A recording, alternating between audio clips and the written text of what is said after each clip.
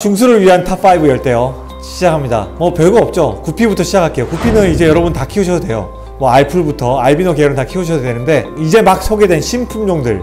그런 친구들은 가급적 국내에 좀 더 퍼지고 이렇게 키우시면 좋을 것 같습니다. 그래서 새로 소개된 종 말고는 국내에 있는 웬만한 종은 다 키우셔도 된다 라고 말씀드리고 싶고요. 두 번째는 platy 저번에 swordtail 말했는데 platy swordtail에 이제 molly까지 한번 도전해 보셔도 됩니다. 근데 molly는 특히 풍선 molly랑 sailfin molly는 초반에 엄청 죽을 거예요. 그거 뭐 10마리 사면 한두 마리 남거나 뭐 세네 마리, 네, 네다섯 마리 이렇게 남을 건데 그 남은 친구들로부터 번식을 하기 시작하면 거기서 이제 적응을 하거든요. 그런 방식으로 한번 해보시고요.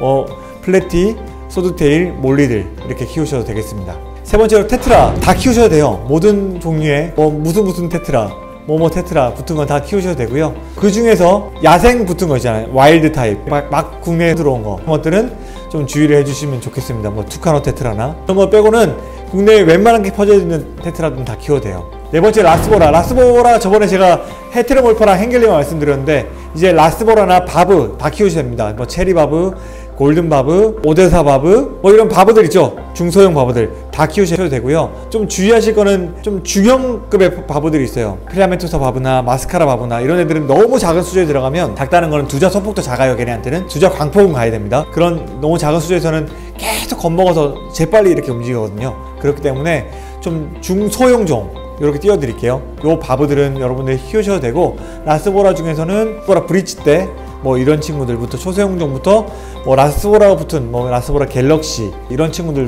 뭐 다 키우셔도 됩니다. 다섯 번째로 보내 코리도라스 브론즈 페퍼드 스터바이 이렇게 말씀드렸는데 코리도 이제 뭐 다 하셔도 되죠 팬더. 베네수엘라 오렌지 에쿠스 시밀리스 줄리 다 키우셔도 되는데 코리 중에서 롱노즈 계열의 또 저수온을 요하는 어종들이 있거든요. 그리고 그리고 돌연사가 있는 친구들 뭐 바바투스나 이런 친구들이 좀 있어서 그런 애들은 좀 검색을 충분히 해보신 다음에 사육하시면 좋을 것 같습니다. 자 중수에서 가장 중요한 거는 제 생각에는 어종 선택보다도 합사 같아요. 합사 뭐냐 여러분들은 이제 고기에 대해서 좀 알았잖아요. 초보를 지나서 고기를 알았기 때문에 크기의 차이에 따, 따른 합사 좀 생각을 하시고요.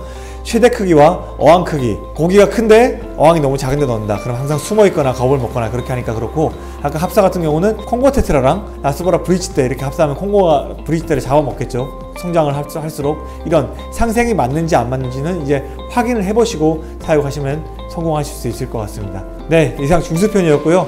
다음번에는 매니아 편으로 돌아오도록 할게요